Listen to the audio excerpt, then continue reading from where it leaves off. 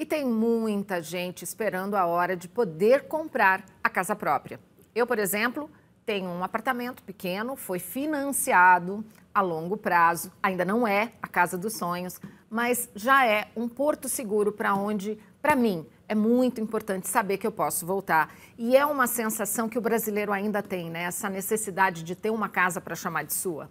Eu acho que é, Maria, mas sabe que faz sentido é, cada vez mais calcular melhor o quanto vale envol se envolver numa compra que é pesada de um imóvel com relação a, e comparar com as outras alternativas de aluguel, é, de moradia compartilhada. Você tem hoje mais é, situações interessantes para serem avaliadas do que só a compra da casa. Você mora numa compartilhada, né?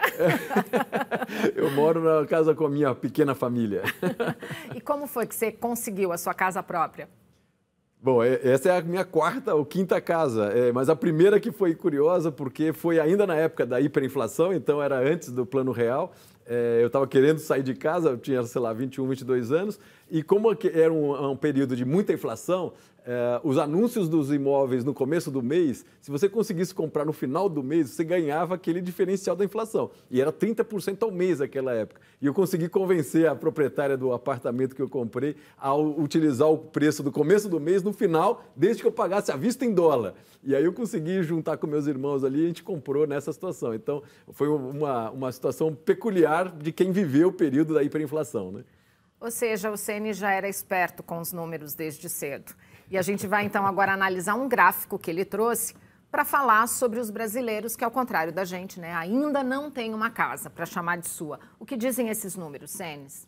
Olha, Maria, isso aqui é um, uma indicação bastante problemática do, do, Brasil, da situação de moradia no Brasil. Vocês podem ver que os números são significativos. Nós estamos falando aqui em três categorias de problema de moradia. O primeiro é o déficit habitacional no país. Estamos falando quase 6 milhões de é, de moradias que nós temos um, um, um, déficit. São pessoas que têm demanda por moradias, e se calcula em 6 milhões de moradias nesse, é, nesse primeiro segmento. O Onde elas estão? Essas pessoas estão ou estão na rua ou estão em moradias absolutamente precárias, ou seja, que não tem condição de você fazer uma, uma, uma melhoria local, que precisam realmente ser deslocadas para é, é, lugares diferentes e, e, e opções de moradias diferentes.